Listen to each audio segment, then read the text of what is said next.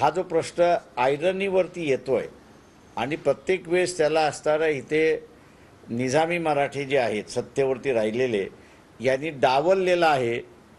पुन्हा ते असं वाट बघतायत की लोकसभा निवडून गेली निवडणूक झाली की आणि विधानसभेच्या निवडणुका झाल्या की मग आपल्याला पुन्हा हा प्रश्न त्या ठिकाणी डावलता येतो आहे हा प्रश्न पुन्हा डावलला जाऊ नये म्हणून आम्ही असं जरांगे पाटलांकडे निरोप पाठवलेला आहे. की त्यांनी लोकसभेमधली आपली उमेदवारी जाहीर करावी. आला की आम्ही सांगतो आपल्याला अजून आलेला नाही. सर जसं जरांगे पाटील यांनी निवडणूक लढवावी असं आपण म्हणतो ओबीसी मराठा सगळा वाद चालू आहे. आज ओबीसी जे काही लिडर्स आहेत ते आता एक स्वतःची पॉलिटिकल पार्टी फॉर्म करतात. आहे त्याची आजच उद्घोषणा होणार आहे पत्रकार परिषद होणार आहे. कसं या सगळ्याकडे बघतात? ओबीसीमधली पॉलिटिकल जागृती झाली ह्याच्याबद्दल मी आनंदित आहे. आणि आत्ता माझ्या अंदाजानं खऱ्या अर्थाने लोकशाही सुरुवात झाली असं मी त्या ठिकाणी मानतोय. आपल्या अधिकाराची लढाई असं स्वरूप त्या ठिकाणी येते. त्याच्यामुळे भारतीय जनता पक्षाचा रिलिजियस आय अजेंडा जो आहे तो गळून पडतोय अशी परिस्थिती आपल्याला एकंदरीत दिसते. त्याचं आम्ही स्वागत करतोय?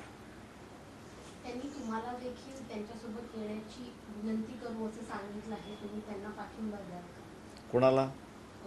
ते माझं म्हणणं असं आहे ओबीसीचं असणारं राजकारणाचं पहिल्यांदा त्यांचा पक्ष फॉर्म होऊ द्या. त्यांचे धोरणं काय काय ते आम्ही बघू आणि त्याच्यानंतर मग आम्ही निर्णय घेऊ. पण त्याचं पक्ष फॉर्मेशन करता ते त्याचं आम्ही स्वागत करतो.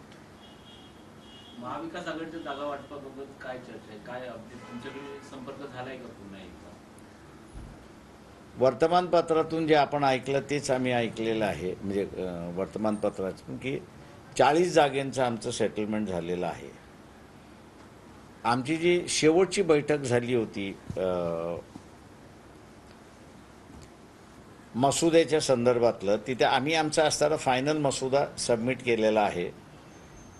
आणि त्या फायनल मसुद्याच्या याच्यामध्ये इतर पक्षांचा मसुदा जर आला असेल तर तो फायनलला पुढच्या बैठकीमध्ये घेऊ करून घ्यायचा असं त्या ठिकाणी ठरलं आहे दुसरं ज्यावेळेस आमच्याशी असणाऱ्या अनौपचारिक चर्चा ज्यावेळेस झाल्या आमचे जे प्रतिनिधी होते डॉक्टर धैर्यवान फुंडकर यांनी त्यांना असं कळवलं आहे की एकतर तुम्ही तिघे आपसामध्ये अठ्ठेचाळीसशे अठ्ठेचाळीस जागा डिस्ट्रीब्यूट करून घ्या. ते जर तुम्ही केलं तर मग आम्हाला ज्या जागेंवरती लढवायचं आहे त्या त्या त्या घटक पक्षाशी बोलून आम्ही असताना समझोता करू त्या याच्यामध्ये. तुमचं जर ठरलेलं नसेल तर मग प्रत्येकाने कुठल्या कुठल्या जागा पाहिजेत. त्याची असणारी म्हटलं कागदावरती आपण एकमेकाला एक्सचेंज करू. त्या एक्सचेंज करून ज्याच्यावरती कोणाची ज्याच्यावरती एकच पक्षाची मागणी आहे तो निकाल करून घ्यायचा.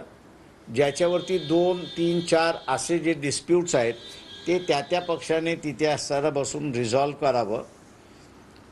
आणि जे रिझॉल्व होणार नाहीत त्याचं म्हटलं होतं समिती प- बसून म्हटलं आपण तिथे निर्णय त्या ठिकाणी करता येईल. तर हे दोन्ही प्रपोजल्स आम्ही त्यांना असताना त्या ठिकाणी दिलेले आहेत. त्या दोन्ही प्रपोजल्सवरती आता त्यांची काय चर्चा होते महाविकास आघाडीची त्याची आम्ही वाट बघतो. आहोत. मागच्या बैठकीत असं म्हणाले होते की युती संदर्भात काँग्रेस उद्धव ठाकरे गट त्यासोबत एनसीबी सोबत चर्चा झालेली आहे.